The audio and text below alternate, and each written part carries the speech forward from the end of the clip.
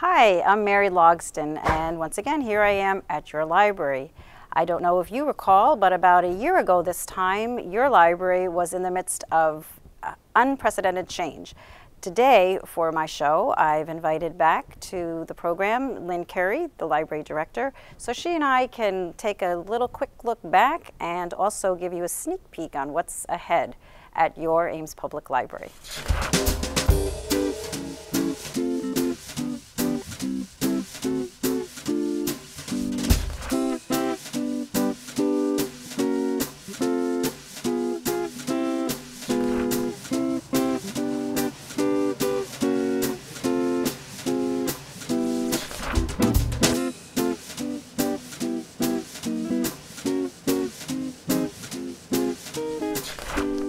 So as I told our audience, um, today I've invited back to At Your Library Lynn Carey. Welcome, Lynn. Thank you so much. It's nice to be here again. Well, we were trying to think a moment ago um, how long it's been since you've um, sat down with me for At Your Library, and I'm going to guess it's been about, I don't know, at least nine months or so sometime I, last I winter. believe so. It seems like um, many, many happy children and satisfied adults later. Yes. Well, that's exactly, that's kind of the summary of business here at our temporary location because for those who haven't been paying attention, we've been operating out of a temporary location since about this time last year, I think. This will air in December. Can you recall even a little bit what was happening this time last year? Can I take you back uh, a, a bit in time? The, the first recollection is extreme sleep deprivation. Yes, yeah. Um, we were extremely busy this time last Mm-hmm. year. Um, in fact, um, a few weeks ago, we were reminiscing as a staff about a, a day in November that was extremely busy for us, Mm-hmm. where we, um, of course, were providing service from 515 Douglas and opening bids for our construction project, and then that evening having a board meeting, all going home and getting a few hours sleep, and then the next morning starting the big move over to the temporary facility where we're sitting now. Yeah.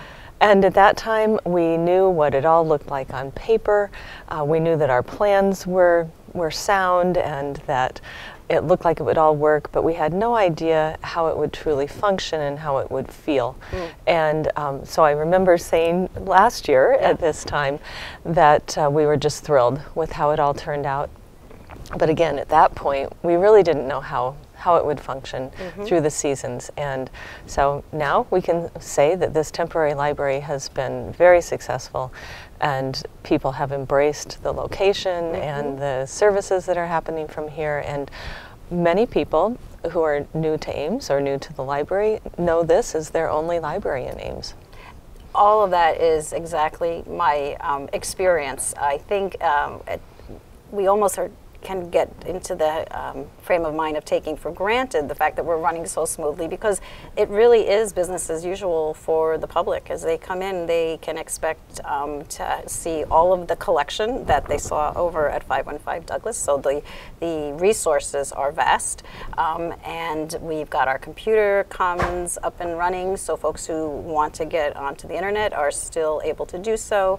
Um, those who want to just sit and read a magazine or a book or access our wireless um, services on their own laptop um, can certainly do so as well. So we are just really in the business of delivering services here, much like we were over um, at our original location. Absolutely. And the, the main resource I think that people enjoy here is our fabulous staff. And um, all of our staff moved over with us. Yep. And you can walk in the door and see the familiar, friendly faces and get the kind of help that people have been used to for, for years in Ames. Well, and it's, it's really been fun, to, like as you say, to go through all of the seasons. Um, now that we uh, see that this works, uh, we don't at all want to give the impression that we want to stay here. we are excited about the construction that's very much um, in evidence over at our home on Douglas Avenue. So, do you mind getting us a little bit up to date on how the construction project is going? I can talk about it for hours. Okay, okay. it's um, it's going very well. Um, about almost a, a year ago, we broke ground, and um, didn't really know what the seasons would bring for us. We had a great construction season early on, and then were um, set back a little bit by rain in the spring. Um, by late summer, nobody knew what the word rain meant anymore, uh, and we were able to make up some of those lost days. Uh, we're just thrilled with the work crews that are um, putting their expertise into this building. Um, it's, it amazes me to see all of the details and all of the um, really considerable skill that goes into a building project of this size. And so we are on track budget wise, we're on track timeline wise, and everything's going great guns. Um, I would encourage anybody who has an opportunity to drive by 515 Douglas and, and see what's going on. At this point, it's uh, the exterior uh, looks pretty similar to what it will when Yeah. we open, and all of the work is now going on in the interior. I noticed that. I, I have myself been um, guilty of driving around slowly and uh, you know pulling into a parking spot and glancing at different angles of the building, and it's very much in evidence that the the exterior is complete. You can tell where the windows are, um, and then I just noticed yesterday, um, peering in, that you can see um, evidence of rooms. Yes, all- inside as all of well. The, so that's the terrific. framing is up and the Yeah. walls are going up. Um, Very it's- it's exciting. very exciting. Yeah, that's just great. Um, talking about um, exciting, one of the things that I, uh, I hope folks realize is that in planning for the new building, there of course will be quite a bit more space. Um, are there some features of the new building that you think will especially delight our customers, um, or do you want to just give them a little tease of what, what's to come? Sure, and part of what, what we'll see at the renovated building is what's missing from this temporary space. Yes. And that is um, meeting rooms, um, more civic engagement type space. Uh, we'll have a much, much larger youth services area even than we had before, and certainly larger than, than the corner that we have Yes. here. Um, we'll have more seating and a more of a variety of types of seating so that people can have small collaborative groups. Um, they can go off in a corner by themselves. Uh, they can have a quiet space, uh, a more active space. So just a lot of different types of use of the building. But the, the meeting rooms and the larger children's space are probably the primary things that people will notice. Yeah. The um, space for adults upstairs will be bright with light and um, quite large. Yes. So it, the, the size, the difference in scale Yeah. will be immediately noticeable, but I think more than that, it's the type of space, the variety um, that can serve a diverse audience. It's really, really um, an exciting time, and I know staff has been um, gearing up. Um, basically, we never really geared down, uh, but we're gearing up, um, so to speak, uh, to prepare for the changes ahead. Uh, how, how would you summarize um, the work that we're engaged in now this winter as we look ahead to moving back? Well, I think moving over to the temporary space was a um, just a, a glimpse into the kind type of work that we would be engaged in over the next year. And at that point, we were planning this space. We were um, looking at all the different features, but we, we had equipment, we had um, methodology for how we operated, and we were scaling down a bit. Right. Um, now we are looking at ramping all of that up and getting new systems and new ways of being. And it affects absolutely every aspect of our work lives and our service to the public. So we have, I think we're up to maybe 11 different um, staff teams that are working hard to make sure that when we open the doors of the renovated building, that everything goes smoothly and that we're delighting our customers, um, including our staff, that we, we know where everything is and how to use everything. So um, technology is really pushing a lot of that. We um, made a promise to the community that when we moved into this building, we would be utilizing technology to be as efficient as possible and to provide the best service possible. So we're looking at things like automated materials handling systems. Um, a more reliance on the self checks that we are working with now. Um, we're looking at communication systems that work with our new configuration of, of providing service from two different floors. Right. So having staff have an opportunity to communicate with each other to serve the public and how we will communicate with um, external customers as well. Um, we're in the midst of this. We're also getting a new bookmobile, so we're working on that. We're revamping our computer system that um, allows us to do everything that we do from ordering books to our catalog that uh, public use to access our materials. So, really, every aspect of service. This is not just about a building.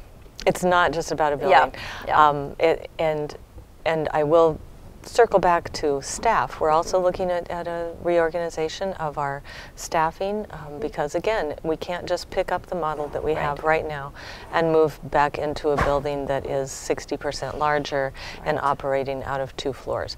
So we are analyzing every aspect of service and um, how we can um, get trained and up to speed on all of this technology and ready to open the doors, just ready to serve the public. Yeah, well, that's a great summary. And uh, 11 groups. If I had to, st- I, I don't know if I could have remembered all of the different teams that were that are operating right now. But you're absolutely right. Um, we are doing a lot of analysis, and we're working really well together um, to offer the best service we can in a fabulous new building when the time comes.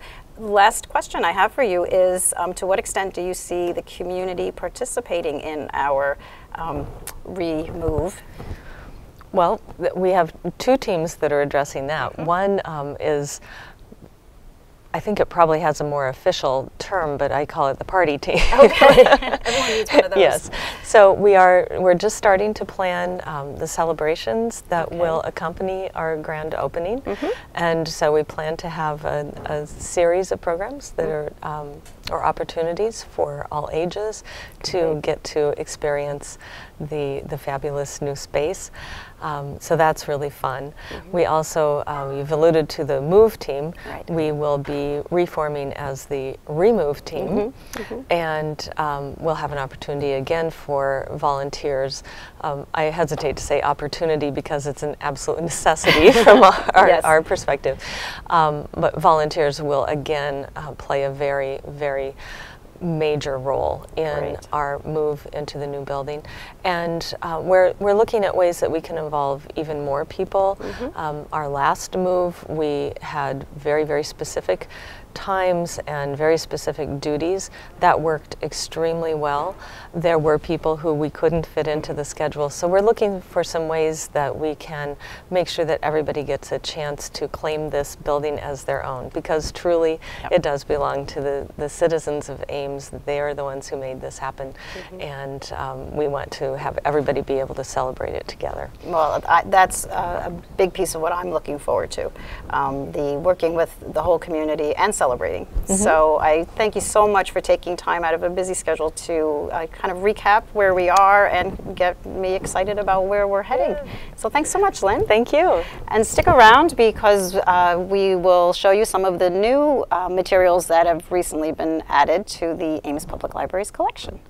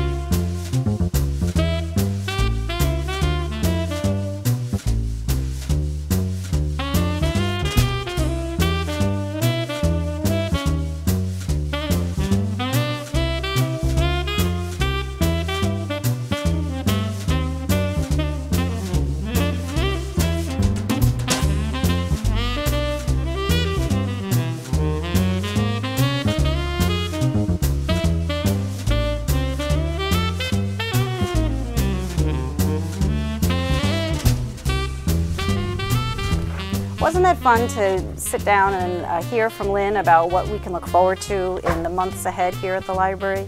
Well, before we get too much ahead of ourselves, I do want to remind you that there is a lot happening today here at your library. And particularly in December, it's a great time to pick up a copy of Page One or check our website where we have all information about library activities and see what is happening here um, at your library. For example, we will be continuing our book discussions uh, in December and into the winter months. Those are Books at Noon, which meets on Wednesday afternoons at 12 to 1 o'clock, Mystery Lovers Book Club, um, Great Books, uh, Let's Talk About It, and also a newly um, organized book discussion series called Mixed Lit. So please check page one if you're really eager to sit down and chat about the books you're reading. Um, we have got all kinds of options for you. If what you want is a little bit of encouragement to just curl up with a book this winter um, for some cozy reads, uh, that's something we can help you with as well. We will have a winter reading program again this year. The forms for that will be available for you to pick up on December 26th. The theme is Cozy Up to a Book. So please stop by the information desk to pick up your winter reading program. Stop by to ask questions about the various book discussions we have scheduled, and always just feel free to stop by and ask us any questions that you have about using the Ames Public Library. Thanks so much for being with me today. Once again, this is Mary Logsdon at your library.